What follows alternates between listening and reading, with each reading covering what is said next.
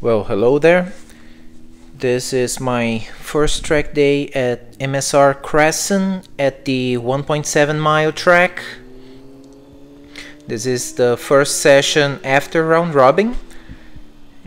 I'm working with uh, instructor Doug for the first time. I'll be following him for one lap. He'll follow me for one lap. We'll pit in for feedback. Gotta be very careful here when we're pitting out as it puts us immediately on the race line. So let's uh, follow Doug here. I'll point out some of the things about this track. Like right here, there's a big dip right here that uh, when we're coming fast we actually feel it. And then over here, it's also very bumpy going to the right side of the track and then we have to take our time to actually move over to the left because it's very very bumpy.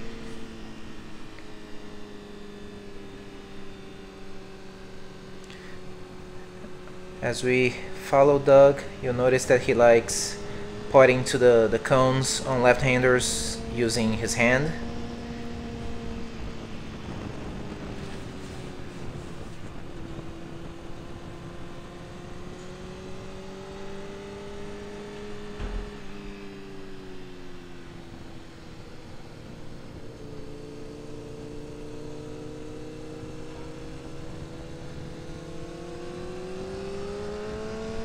There he goes.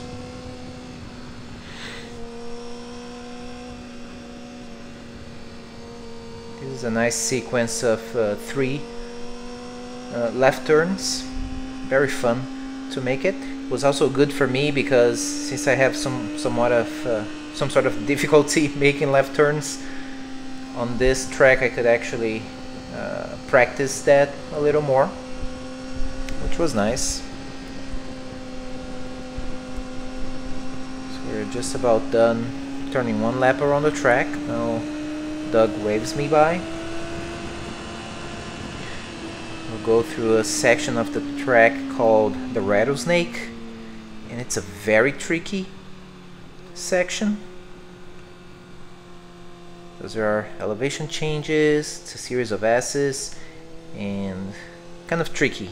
If you mess it up going into it, then the whole section is messed up.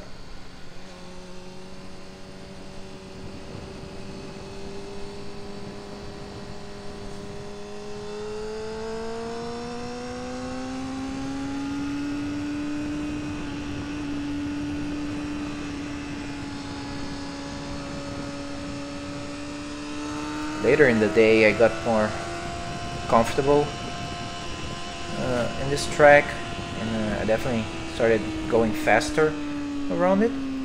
But at this session again it was the first one after round robin.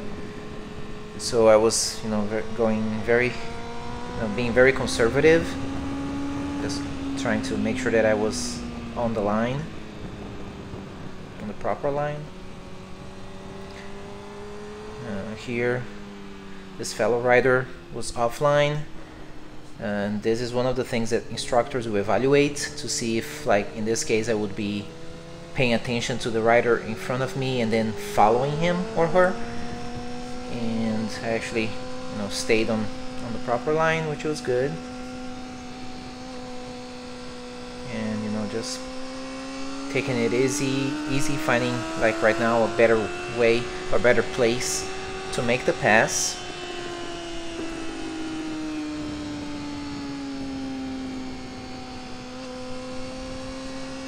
going through the turn that's called the Big Bend right here.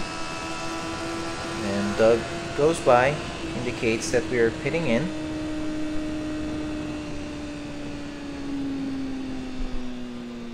Let's follow him. This entrance to the pit area is uh, the slowest corner in the track so gotta be very careful there so let's hear his feedback. That's pretty good. Your pace is good. Uh, one thing, I don't know, you heard me when I was uh, doing the talking about coming into the rattlesnake over there. Okay. You gotta hit that first right-hand corner dead on, and then because I noticed through the rattlesnake you're doing a, a, lot of extra riding in there. Right. It's unnecessary. Okay. And it starts right at that official right-hand uh, entry. Okay. So the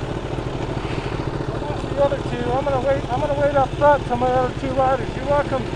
You're welcome to, to, to ride on your own, or you can wait for me and fall in behind the other riders. They're going slower than you, if that makes any difference. Okay. For the most part, your, your lines are pretty good. Okay. So, Great. All right, man. I'll work on that. Thanks, man. All right, that's good. I mean, not too long ago, the main feedback I'd always get was line's good, body position not so much, uh, or something along those lines.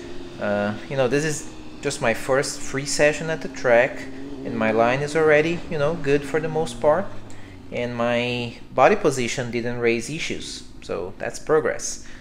Um, also good to know that my pace was faster than the other two riders uh, following us, even though I wasn't pushing, you know, at all at this point. So hey, you know, I'm improving. Yay!